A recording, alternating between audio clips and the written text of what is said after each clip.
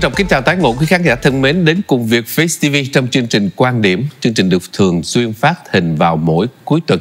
Ngày hôm nay thưa quý vị, khi vị khách mời duy nhất có trong chương trình chúng tôi xin đón chào trở lại luật sư Trần Thái Văn, cựu dân biểu tiểu bang California. Xin kính chào luật sư ạ. Dạ rất là cảm ơn anh Dũng à, cũng như là xin kính chào toàn thể quý vị. Chúng tôi rất là vui để mà trở lại cùng với chương trình Việc Face à, sau hai tuần à, được đi à, đi nghỉ phải đi nghỉ mát phải không ạ dạ, dạ. nghỉ nóng hay nghỉ mát chưa biết nhưng mà chắc chắn là là spring break bởi vậy nên à, rất là vui để mà trở lại cùng với quý vị À, vâng, chào đón và rất hân hoan được uh, chào đón luật sư trở lại với chương trình.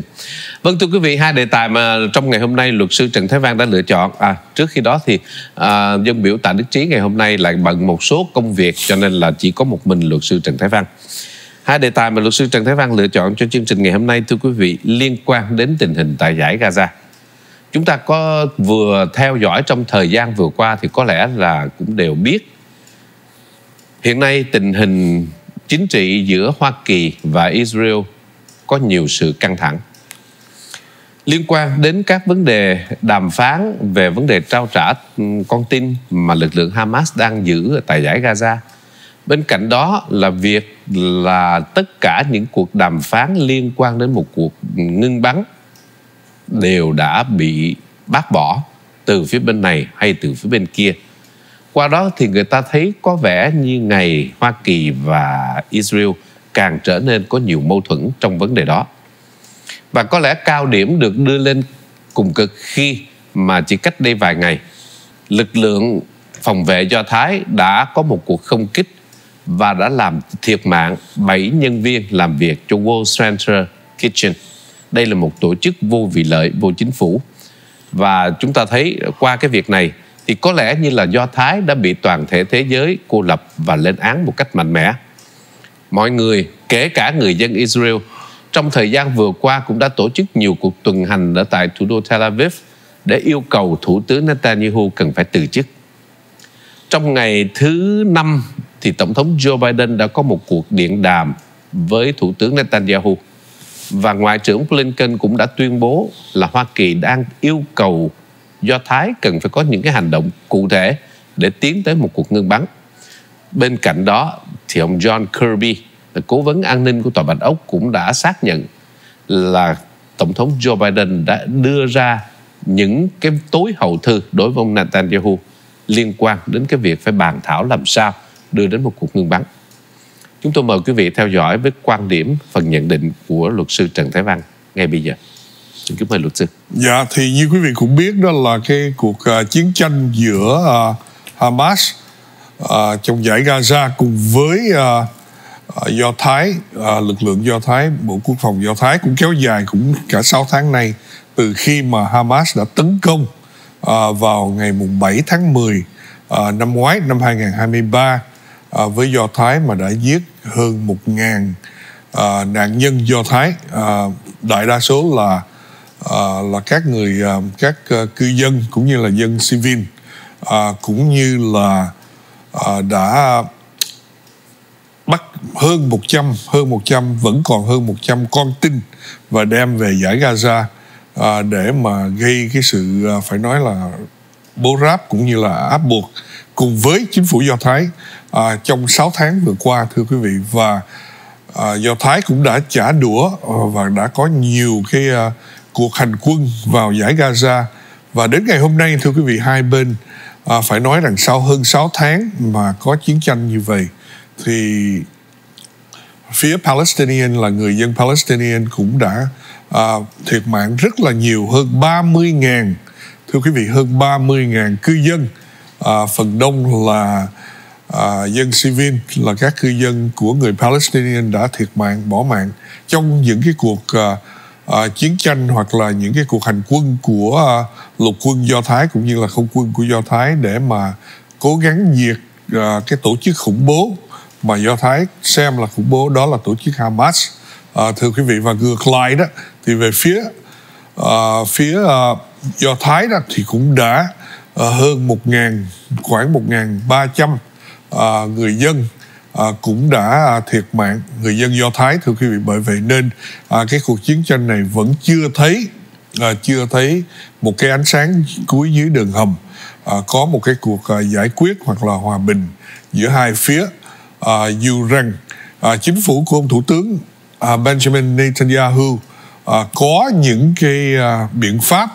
à, chính trị cũng như là quân sự rất là mãnh liệt à, đúng theo cái lập trường và chính sách bảo thủ à, của đảng Likud là của à, đảng ông à, Benjamin à, Netanyahu à, đã thúc đẩy cũng như là à, có những cái à, chính sách rất là cứng rắn à, để mà trừng phạt Hamas. À, tuy nhiên trong 6 tháng vừa qua vẫn chưa giải quyết được và đây nó gây nên một cái sự bức xúc từ người dân à, do Thái. À, chưa nói đến chính phủ Hoa Kỳ nha thưa quý vị. À, rằng đó là vẫn chưa giải quyết được à, cái tình trạng mà Hamas vẫn giữ hơn 100 à, con tin à, người dân Do Thái hiện giờ mà họ không biết là đang ở đâu à, và sẽ giải quyết bằng cách nào. Dù rằng có những cái cuộc à, thương thảo trong những tháng vừa qua nhưng mà vẫn không đem lại à, một cái kết quả nào cụ thể hết. Dù rằng có một số à, các à, con tin cũng đã được thả ra trong quá khứ nhưng mà đại đa số những con tin này là à, các con tin của người ngoại quốc của các quốc gia khác. À, thưa quý vị à, cái à, tình trạng hiện giờ à, không riêng gì về phương diện chính trị à, quân sự nhưng mà nhất là về phương diện à, chính trị giữa Hoa Kỳ và Do Thái nó có cái sự à, rất là phức tạp. À, thưa quý vị nhất là trong cái viễn tượng là à, tranh cử bầu cử tổng thống năm nay đối với à, à, chính phủ của ông à, tổng thống Biden hiện giờ. Tại vì một số à, các chính khách cũng như là một số các tổ chức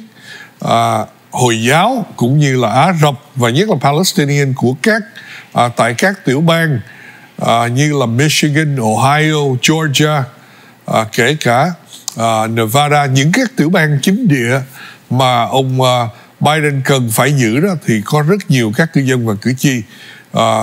mà có uh, phải nói rằng là có cái sự uh, ủng hộ hoặc là có cảm tình với người dân Palestinian khi mà họ thấy chính phủ uh, uh, bảo thủ của ông uh, Netanyahu có những cái biện pháp uh, quân sự quá cứng rắn và quá tàn bạo. Nếu mà không muốn nói là quá tàn bạo thì họ lại uh,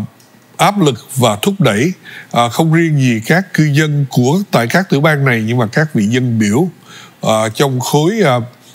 à, progressive là cấp tiến đó thưa quý vị. Trong à, à, quốc hội Hoa Kỳ họ cũng đã và đang tiếp tục áp lực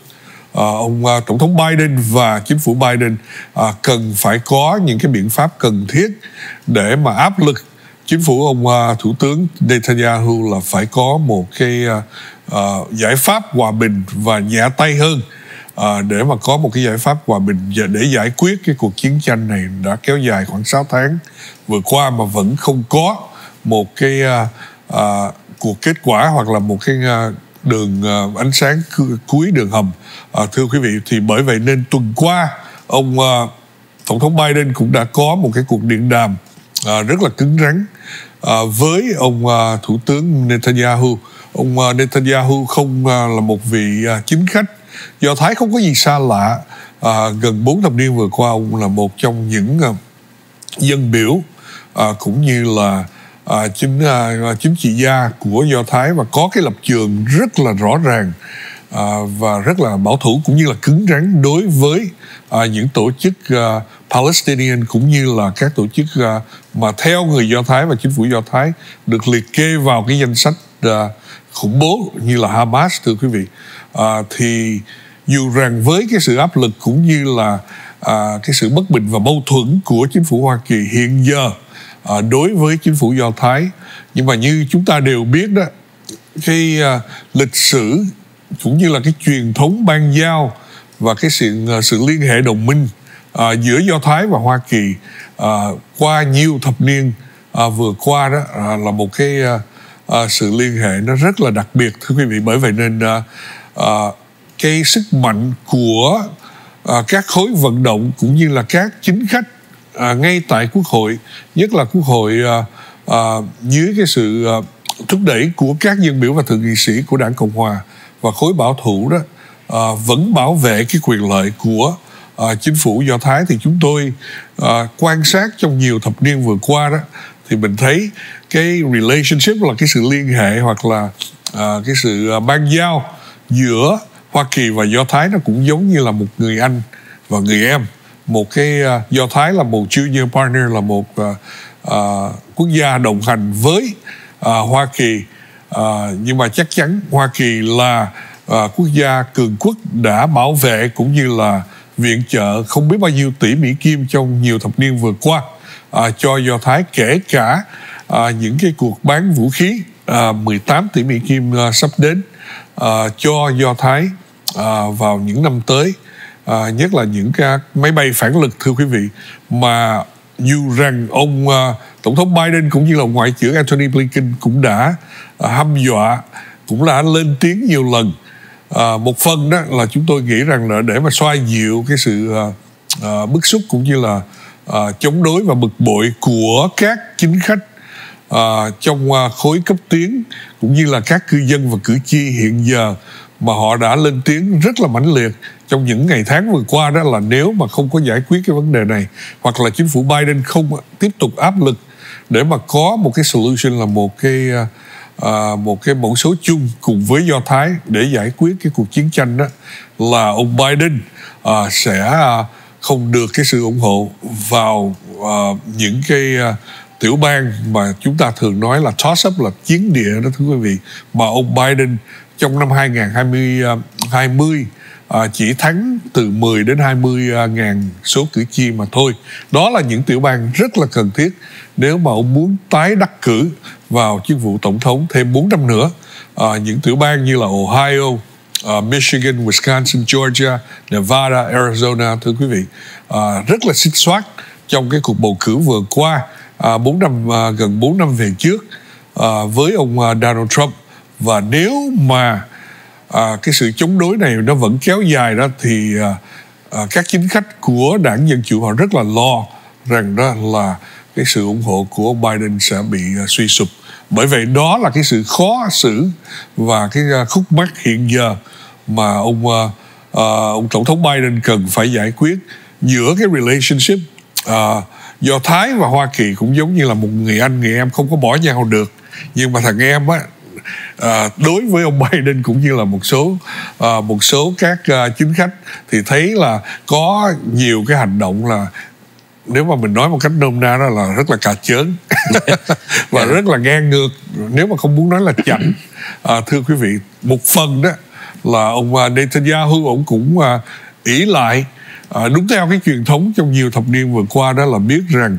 là chính phủ Hoa Kỳ là không có nhiều cái sự lựa chọn và cái sự ủng hộ của các chính khách tại quốc hội cũng như là nhiều các tổ chức và nhiều à, à, khối khác nhau để mà áp lực chính phủ Hoa Kỳ, chính phủ ông tổng thống Biden tiếp tục để mà yểm trợ và ủng hộ uh, chính phủ Do Thái trong những cái biện pháp cũng như là chính sách cứng rắn mà họ đang có hiện giờ. Bởi vậy nên dù rằng ông Biden cũng như là ông ngoại trưởng Blinken cũng đã lên tiếng cảnh báo và có những cái câu nói rất là uh, cứng rắn nhưng mà thật sự uh, thưa quý vị không có một cái một cái sự hăm dọa hoặc là một cái uh, quyết định nào cụ thể nói rằng ok nếu mà do thái vẫn tiếp tục làm những cái việc này hoặc là vẫn có những cái hành động mà nó gây sự chết chóc mà không có uh, một cái uh, uh, uh, một cái solution là một cái giải quyết giải pháp rõ giải ràng pháp rõ yeah. ràng để mà có cái uh, đem lại cái sự hòa bình giữa hai bên đó uh, thì chính phủ Hoa Kỳ sẽ làm cái gì vẫn chưa có một Không cái có câu trả lời Dạ. rõ ràng à, thưa quý vị không có được một sự rõ ràng. Dạ. có lẽ là nó phải phát xuất từ cái vấn đề mà người ta từ lâu nay cũng đã biết rồi. Đó là nền kinh tế hay là cái nền chính trị của Hoa Kỳ. Nó cũng bị lệ thuộc một phần lớn vào các tay tài phiệt gốc Do Thái ở tại Mỹ. Điều đó thì luật sư nhận định thế nào? À, dạ đúng như vậy. À, không riêng gì về à, phương diện kinh tế à, và quan trọng và gần hơn nhất nhất là trong cái viễn tượng năm bầu cử tổng thống à, cũng như là năm bầu cử à, quốc hội các dân biểu và thượng nghị sĩ. Họ à, đều được à, cái sự tiếp nhận cũng như là bị cái sự ảnh hưởng của những cái à, tổ chức lobby là tổ chức vận động. Một trong những tổ chức vận động mà có thể nói là có cái sự ảnh hưởng mạnh nhất tại Hoa Thịnh Đốn hiện giờ có thể nói một trong năm tổ chức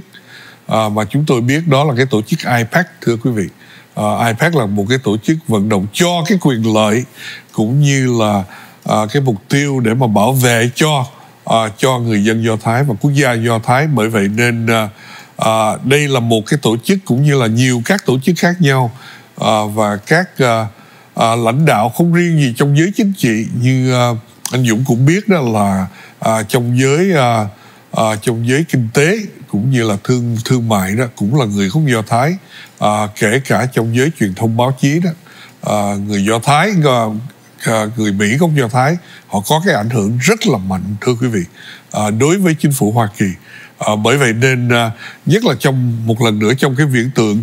tranh cử năm nay, tổng thống năm nay cũng như là các cuộc tranh cử quốc hội, các dân biểu và thượng nghị sĩ đó thì chắc chắn rằng những cái việc mà các chính khách Hoa Kỳ, các chính trị gia Hoa Kỳ họ muốn lên tiếng và họ biết rằng đó là Do Thái cần phải nhẹ tay, cần phải uh, rút lại uh, một phần nào để mà có một cái sự giải quyết giữa hai bên chứ không thể nào mà kéo dài cái cuộc chiến tranh này mà người Palestinian đã ờ, đã uh, bị hơn 30.000 thưa quý vị 32 khoảng 32 ngàn cư dân đã thiệt mạng uh, trong những tháng vừa qua và đại đa số là người dân uh, civil là cư dân. À, các trẻ con cũng như là phái nữ thưa quý vị thì đây là à, thế giới cái à, phải nói là cái dư luận thế giới họ không chấp nhận được và họ vẫn tiếp tục à, vận động và áp lực à, chính phủ do thái phải có cái sự thay đổi đó. Thì đối đầu với những cái áp lực từ trong người dân của nước mình ở tại Israel và đồng thời phải đối à, đối đầu với những cái áp lực từ thế giới từ dư luận thế giới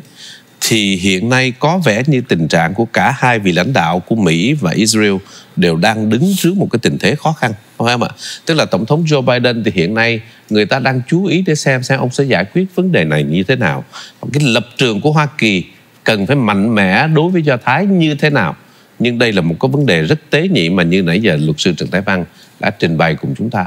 Có thể nó sẽ gặp tạo cho ngay cá nhân của Tổng thống Joe Biden trong cuộc bầu cử tới đây gặp nhiều khó khăn nếu ông mạnh tay đối với Do Thái mà chưa chắc mạnh tay đã thành công là vì hiện nay như luật sư Trần Thái Phan cũng đã nói rồi Do Thái giống như một cậu em ngỗ nghịch hoặc là trong cái lúc này có vẻ như đã vượt khỏi khỏi cái vòng kiềm tỏa của Hoa Kỳ và có vẻ ngày càng cứng đầu hơn đối với các cái đối, đối sách. Thế thì cái tình trạng của cả hai vị lãnh đạo này trong những ngày sắp tới tương lai của họ có thể sẽ diễn ra như thế nào nếu vấn đề này không à, nếu mà nói về à, đây là một cái câu hỏi rất là hay à, thưa anh anh Dũng và đây cũng là một cái viễn tượng hoặc là một cái tình trạng mà nhìn qua cái ống kính uh, chính trị đó thì mình thấy khá rõ là cái uh, thế đứng của ông uh, tổng thống Biden khó uh, khó khăn hơn và nhiều cái sự thử thách là tại vì như chúng tôi có trình bày đó những cái tiểu bang mà ông thắng trong năm 2020 chỉ từ 10 đến 20 ngàn cử tri số phiếu mà thôi. À, thưa quý vị và nếu mà ông thua năm nay, nếu mà các à, cử tri người Mỹ gốc Ả Rập hoặc hoặc là gốc à, gốc Hồi giáo cũng như là các à, à, cử tri người à, Mỹ à, cấp tiến đó thưa quý vị mà họ không bỏ phiếu cho ông Biden đó thì có nhiều cái lý do à, ông sẽ uh, sẽ bị ờ, rất là nguy hiểm. Mất những cái tiểu bang đó là sẽ không giữ được uh, giữ được cái ghế uh, để mà tái tranh cử uh, vào uh, cái chức vụ tổng thống vào năm 2024 thưa quý vị đó là cái sự lo âu không riêng gì của ông Biden nhưng mà rất nhiều các à, chính khách cũng như là các vận động viên và cố vấn trong đảng dân chủ họ cũng thấy à, cái vấn đề này. À, ngược lại đó à, bên à, do thái đối với ông à, Benjamin à, Netanyahu thì ông Netanyahu là một chính trị gia và hiện giờ là đại diện cho cái đảng Likud là một cái đảng, đảng rất là bảo thủ. À, cũng giống như là đảng Cộng hòa. Bởi vậy nên giữa ông Biden và ông Netanyahu chưa chắc nếu mà nói về chính sách à, cũng như là lập trường à, thì chắc chắn rằng ra là có nhiều cái sự khác biệt. À, bởi vậy nên à, ông Netanyahu về phía Do Thái đó à, không riêng gì với ông à, thủ tướng hiện nay nhưng mà trong à, quá khứ. Nếu mà chúng ta xem cái à, lịch sử à, ban giao giữa do thái và hoa kỳ đó đây là một cái à, à, sự ban giao một cái à, tiền lệ và cái lịch sử nó rất là đặc biệt nhưng mà nó có nhiều cái khúc mắc. À, ông Netanyahu à, với cái nguồn máy chính trị nó hơi khác nó rất là khác thì đúng hơn. À, tại do thái à, tại vì do thái chỉ có một cái quốc hội là 120 dân biểu mà thôi.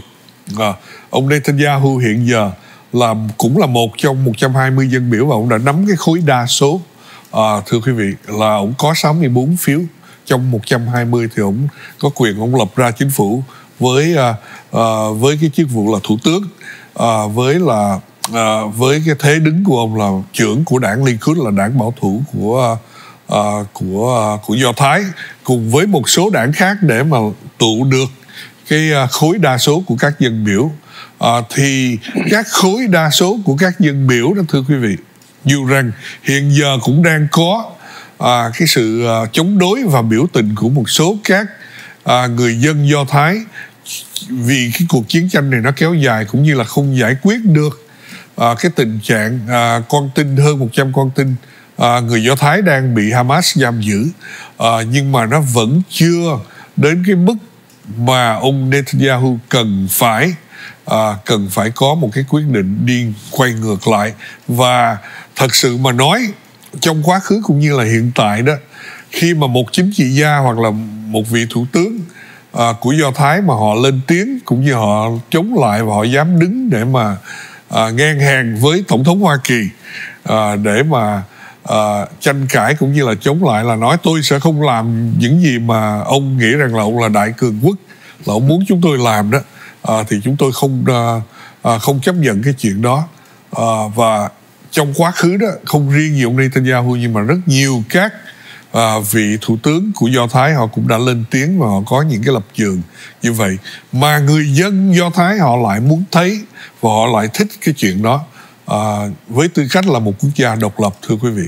À, vì một phần chúng tôi nghĩ rằng họ cũng biết đó là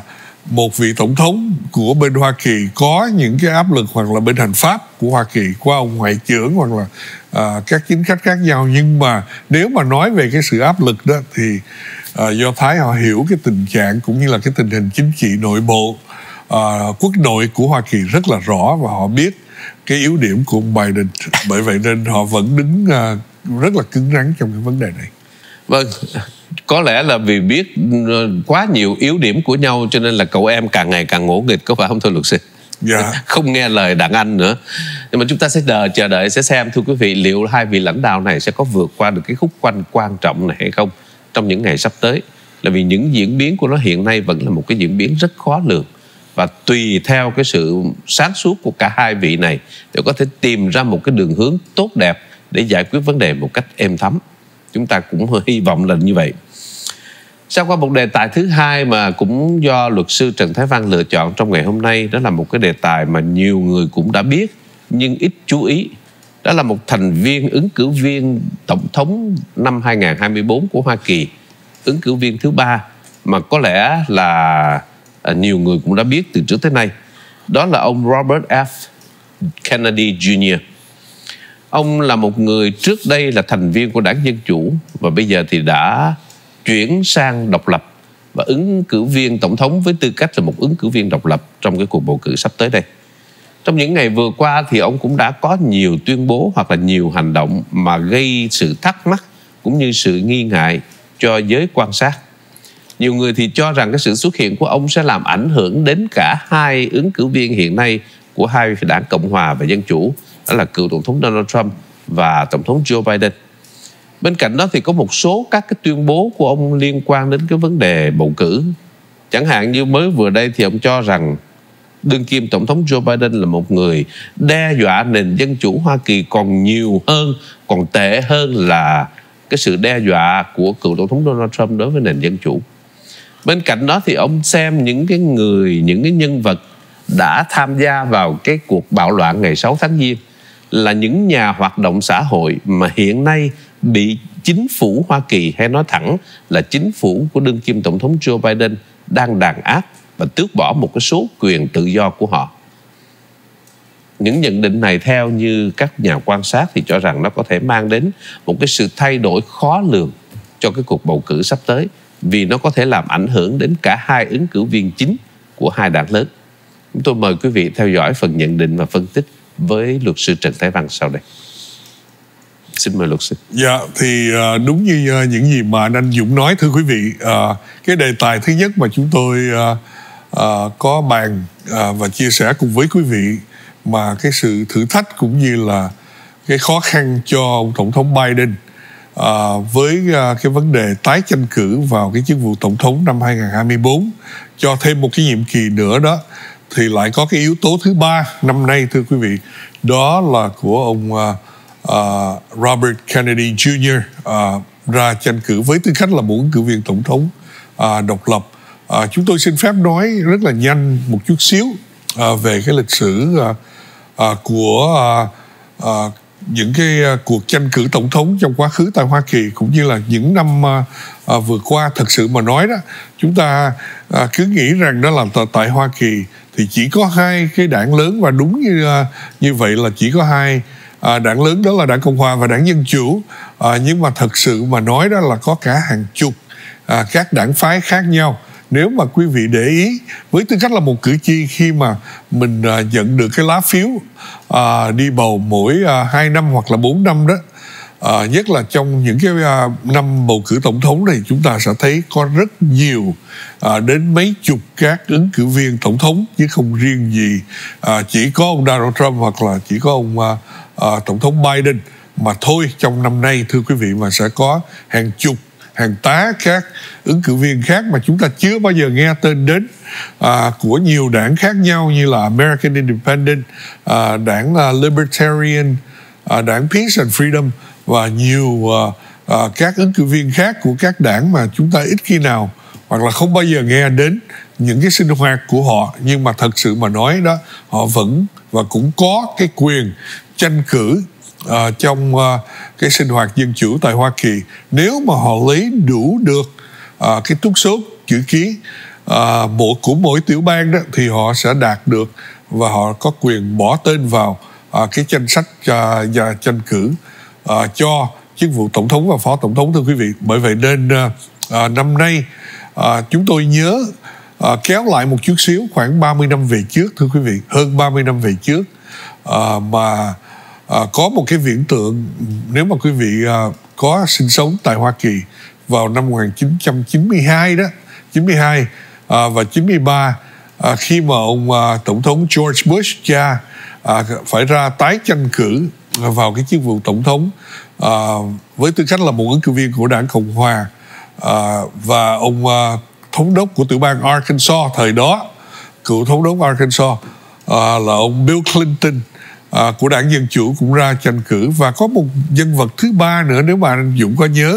đó là ông tỷ phú Ross Perot. Oh, yeah. à, ông Ross Perot năm 1992 ông lại muốn ra tranh cử ông này là một ông tỷ phú từ tiểu bang Texas.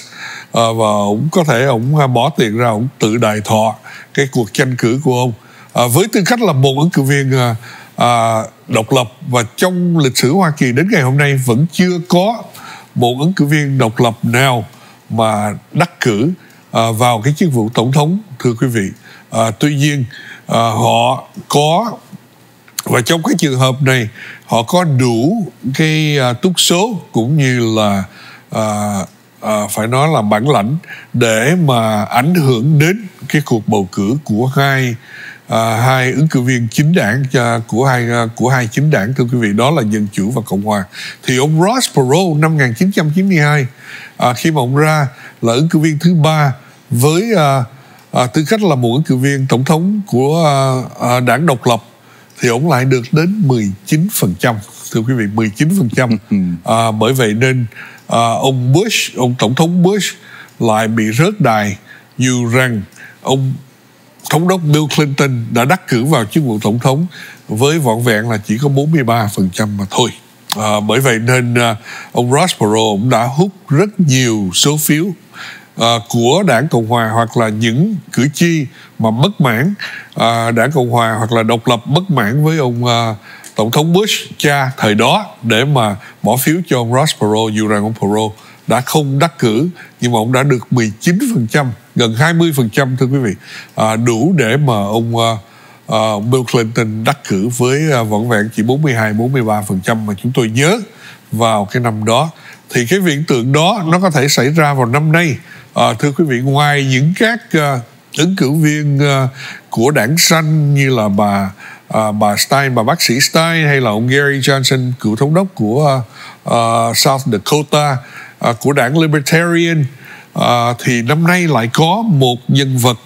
uh, khá là đặc biệt đó là ông uh, uh, luật sư Robert F. Kennedy Jr. À, thưa quý vị, ông Robert Kennedy Jr. là ai? Ông à, Robert Kennedy Jr. đó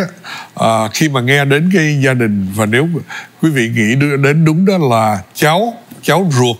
à, của ông à, cố tổng thống à, John F. Kennedy và ông là con lớn của ông uh, cố uh, thượng nghị sĩ cũng như là bộ trưởng tư pháp uh, dưới thời của ông John F. Kennedy tổng thống John F. Kennedy đó là người em của ông John F. Kennedy cũng uh, gọi là tên có tên là Robert Kennedy uh, cũng uh, đã bị ám sát vào năm 1968 thưa quý vị uh, trong cái thời mà ông ra à, chức vụ tổng thống ra tranh cử tổng thống ngay tại Los Angeles này thì ông Robert Kennedy Jr. đó là người con năm nay ông cũng đã 70 tuổi rồi nhưng mà cái tên Kennedy vẫn là một cái tên có nhiều cái huyền thoại và nhiều cái sự cảm tình à, của các cử tri và cư dân Hoa Kỳ. À, khi mà nói đến gia đình Kennedy bởi vậy nên khi mà ông à, Robert Kennedy đã thông báo ra tranh cử đó thì nó cũng gây à, một số à, sự quan tâm à, của các à, à, chính sách và các chính trị gia à, của đảng cộng hòa phía ông Trump cũng như là phía à, à, phía ông à, à, tổng thống Biden. Tại vì sẽ không biết là ông Kennedy ông sẽ hút phiếu từ phía nào nhiều hơn yeah. Dạ. và có thể ảnh hưởng đến nhất là với những cái tiểu bang mà chỉ xích soát chỉ có 10.000 đến 20.000 uh, số phiếu mà có thể thay đổi được cái vận mạng uh, ai sẽ làm tổng thống vào năm 2025 uh, à, thưa quý vị bởi vậy đây là một cái uh, à, vấn đề mà chúng tôi nghĩ rằng đó là hai chính đảng họ rất là lo nhưng mà phải nói rằng đó là ông Biden à, à, lo phải nhiều hơn. À, đối với à, nếu mà so sánh với ông à, Trump ông à, về phía của ông Donald Trump đó thì ông cũng đã lên tiếng và ông cũng đã tố giác ông uh, Robert F. Kennedy này là một À, một chính trị gia. Thật sự mà nói đó ông này không phải là một chính trị gia. Chưa bao giờ là một vị dân cử với một cái chức vụ nào hết từ cấp địa phương đến uh, liên bang. À, nhưng mà với cái tên như vậy đó thì phía ông Trump cũng đã cho ông này đội cái mũ đây là ông này thiên tả rất là nặng ký à, thiên tả dù rằng có những cái lập trường cũng không có à, không phải hẳn là dân chủ mà cũng không hẳn là cộng hòa nữa thưa quý vị ông là một à, một chính trị gia độc lập và đó là một trong những cái lý do mà có một số các cử tri và các cư dân Hoa Kỳ họ muốn ủng hộ ông Robert Kennedy Jr. À, vì uh, có thể là họ bất mãn hoặc hay là họ không chấp nhận uh, cả hai uh, cả hai ứng cử viên của hai chính đảng hiện giờ uh, của đảng cộng hòa cũng như là đảng dân chủ thì cái offer là cái solution hoặc là cái sự lựa chọn thứ ba uh, là ông Robert F Kennedy Jr. thưa quý vị uh, bởi vậy nên uh, ông Biden với tư cách là uh, tư cách là uh, ứng cử viên uh, đương kim tổng thống và ông Robert F. Kennedy dù muốn dù không đó là cũng đã có một cái huyền thoại và một cái truyền thống gia đình à, của đảng dân chủ. Và ông Kennedy cũng đã lên tiếng à, chỉ trích ông Biden khá nặng à, trong à, những cái cuộc tranh cử hoặc là những cái cuộc meeting mà ông à, đi tranh cử tại các tiểu bang khác đó thưa quý vị. À, thì chúng tôi nghĩ rằng đó là ông về phía của đảng dân chủ họ đang họ đang rất là dè dặt và họ đang ờ, đi sát với ông Kennedy để coi ờ, cái ban vận động của ông Kennedy sẽ làm cái gì và sẽ có những cái ảnh hưởng đến ngày ờ, những ngày tháng tới. Và hiện giờ đó chúng tôi biết đó là ông Kennedy cũng đã qualify là họ đã được uh, lọt vào sổ của bảy tối thiểu là bảy tiểu bang. Và trong những ngày tháng tới đó ông sẽ lấy đủ uh, những cái uh, túc số chữ ký để mà ông được đặt cái tên với tư cách là ứng cử viên tổng thống à, vào những cái tiểu bang mà chúng ta thường gọi là tiểu bang chiến địa mà hai chính đảng cần phải à, phải đắc cử bởi vậy nên đây là một cái yếu tố mà ông Kennedy ra tranh cử mà nó sẽ gây nhiều à, nhiều cái à, kết quả mà chúng ta không có thể lường được trong những ngày tháng tới. Chúng ta đang thấy trên màn hình đó là việc mà ông à, Robert à, Kennedy Jr. đã tuyên bố cái người đứng vào liên danh chung với mình đó là một nữ luật sư năm nay 38 tuổi. Thì cái điều này cũng là tạo ra một cái uh, uh, sự xáo động rất lớn cho giới truyền thông trong những ngày vừa qua. Luật sư nhận định thế nào về người uh, nữ luật sư này? À, cái cô luật sư này tên là Nicole Shanahan. À, nếu mà chúng tôi nhớ không lầm Nicole Shanahan. Dù rằng tên uh, uh, tên họ là tên Shanahan là người uh, người uh, Irish yeah. Dạ. Ái Nhĩ Lan. Nhưng mà uh, theo chúng tôi biết đó gốc gác cô này là một nữ luật sư mới 38 tuổi mà thôi yeah. Dạ. uh, một nửa người uh, à, là dân à, da trắng là người ái nhĩ lan bố là à, là à, người, người da trắng nhưng yeah. Dạ. mà mẹ lại là người à, gốc hoa từ quảng châu oh, yeah. à, bởi vậy nên à, à, cô Shanahan luật sư Shanahan lại là à, một nửa là người Á Châu thưa quý vị và cái đặc biệt không kém đó là cô này là một uh, bow tie là một đại triệu phú uh, đại triệu phú à. lý do tại sao là đại triệu phú uh, vì uh, người chồng cũ của her là ông Sergey Brin. Là ông tỷ phú Sergey Brin. Uh, Sergey Brin là ai? Sergey Brin là sáng lập viên của uh, Google. Oh. nên uh, uh, khi mà cô này ly dị đó thì cũng đã được một số tài sản rất là lớn. Và chúng tôi nghĩ rằng đó uh, ngoài cái việc mà ông uh, Robert F Kennedy uh, Jr đã chọn cô này đó uh, vì cô là phái nữ và cũng là trẻ và có học à, đây là cái khối cử tri mà ông Kennedy cần à, cần phải có thì cô này có, có thể giúp được về phương diện đó ừ. nhưng mà quan trọng không kém thưa quý vị à, luật sư uh, Shanahan cũng đã là một người tài trợ một người mạnh thường quân à, rất là lớn và đã bỏ cả không biết bao nhiêu triệu đô la à, trong quá khứ để mà giúp đỡ ông uh, uh, ứng cử viên uh, Robert Kennedy trong cái cuộc tranh cử uh, nó đang tiếp tục xảy ra vào cái chức vụ tổng thống năm nay thưa khá lý thú. Dạ. không ạ đây là một cái vấn đề rất là lý thú. À, chúng ta cũng cần phải nhớ lại một điều thưa quý vị. Ông Robert Kennedy Jr đã từng là một nhà hoạt động chống việc chích vaccine nổi tiếng trong cái thời Covid ông đã từng sử dụng mạng xã hội để truyền bá nhiều thông tin sai lệch liên quan đến vấn đề vaccine và vấn đề Covid-19 năm 2022 đó thì có một cái nhóm tên là nhóm bảo vệ sức khỏe trẻ em, một cái nhóm hoạt động chống lại cái việc chích ngừa vaccine do chính ông Kennedy đứng đầu đã bị loại khỏi Instagram và Facebook và cả hai đều thuộc quyền sở hữu của Meta vào lúc đó. Vì nhiều thông tin sai lệch mà tổ chức này đã đưa ra trên các cái trang mạng xã hội đó vào thời điểm đó thì đó cũng là một điểm mà làm cho người ta cũng phải để ý đến cái hoạt động của ông Robert Kennedy Tuy nhiên hồi nãy thì ờ, luật sư Trần Thái Văn đã đưa ra một số dữ kiện và cho thấy rằng trong lịch sử đã từng có một ứng cử viên thứ ba mà có thể làm trao đảo và nó là một cái nhân tố gây bất ngờ cho cả hai chính đảng trong cuộc bầu cử. Thì đây rõ ràng sẽ là một điều mà có thể ảnh hưởng một cách mạnh mẽ đến cuộc bầu cử. Tuy rằng chúng ta thấy có vẻ như nhân vật này ờ, cũng là một cái nhân vật ờ, không có gì nổi bật nhưng cái sự xuất hiện của ông ấy và cộng với những cái đường đi nước bước mà như nãy luật sư Trần Thái Văn nói người ta đang để ý đến những hành động của ủy ban vận động tranh cử của ông Robert Kennedy để có thể liệu được ông ta sẽ đi những bước như thế nào để có thể đưa ra những cái phương sách để mà uh, hóa giải nó chẳng hạn như bây giờ phía đảng dân chủ. Như vậy thì cái vấn đề là hiện nay ông này xuất hiện đã tạo nên một cái sự lo lắng cho cả hai chính đảng cho cả hai uh, ứng cử viên chính thức của hai đảng.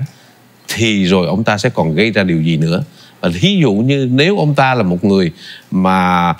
có thể đứng ra để mà chia số phiếu là vì theo thống kê hiện nay đó người ta thấy rõ ràng rằng có một lượng một khối lượng cử tri cũng lớn đều không thích cả hai ứng cử viên Joe Biden và Donald Trump. Họ nói, nói là à ờ, cả hai đều có vẻ đã luống tuổi rồi. Thì bây giờ thí dụ như người ta có thể chọn được một ứng cử viên thứ ba hay không? Điều này hoàn toàn có thể xảy ra. Luật sư thấy thế nào? À, trong quá khứ đó thưa quý vị thì à, chúng ta cũng đã thấy những à, ứng cử viên của các à, à, đảng nhỏ khác như chúng tôi có trình bày như là đảng Libertarian, đảng Tự do, À, đảng độc lập đó thông thường à, về phía tả hoặc là phía hữu đó họ chỉ chiếm được từ 1 đến 3 phần trăm mà thôi. Nên à, vào cuối ngày đó thì nó cũng không có một cái sự ảnh hưởng gì hết. Tại vì hai hai uh, hai hai bên hai cái khối cực uh, cực hữu cũng như cực tả. À, thưa quý vị rốt cuộc vào cuối ngày sau khi mà những cái lá phiếu được đếm đó thì nó cũng lại cân bằng với nhau à, cũng à, xóa quề à, với nhau. Bởi vậy nên à, vẫn là cái khối à, các cử tri độc lập à, sẽ quyết định à, trong cái cuộc bầu cử này cũng như là trong những cái cuộc bầu cử trong à, những năm trong quá khứ thưa quý vị. Bởi vậy nên khi mà nói đến ông Kennedy đây là một cái yếu tố à, yếu tố mà chúng tôi nghĩ rằng hai chính đảng nhưng mà bên phía dân chủ đó họ phải lo hơn. À, cái vấn đề này cũng dễ hiểu mà thôi à, là tại vì dù muốn dù không à, khi mà nói đến cái tên Kennedy tên gia đình của Kennedy thì ai cũng nghĩ rằng đây là một à, một cái huyền thoại hoặc là một cái legacy à, một cái à, à, hậu duệ của đảng dân chủ của một đại gia đình à, một triều đại của đảng dân chủ thưa quý vị. Mà ông Kennedy mà ra à, tranh cử với tư cách là một ứng cử viên độc lập à, độc lập như vậy đó thì chúng tôi nghĩ rằng một số các à, cử tri và cư dân của đảng dân chủ cũng như là một số các cử tri và cư dân mà độc lập đó là non-partisan là họ không có chọn đảng đảng nào nhưng mà họ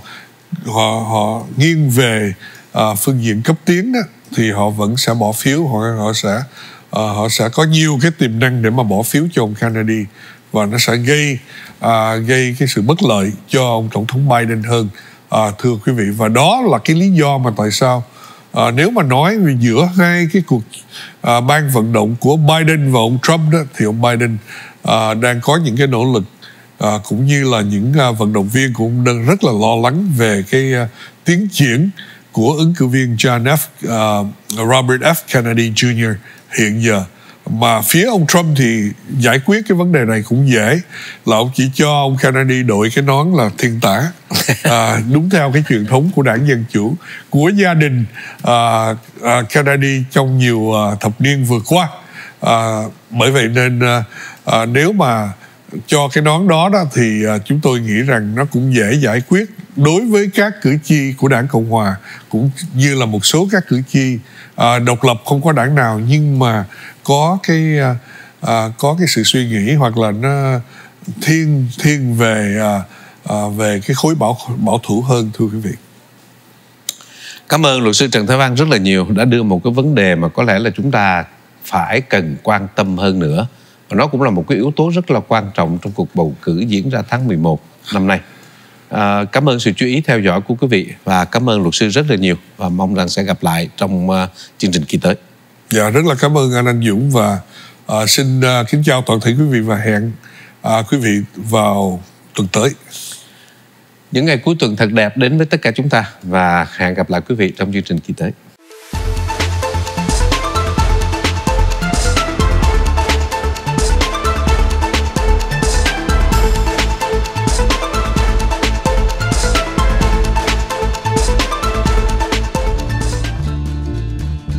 Quý vị thích xem những chương trình này, xin nhấn vào nút subscribe để có được các thông tin và phóng sự mới nhất từ Vietface TV.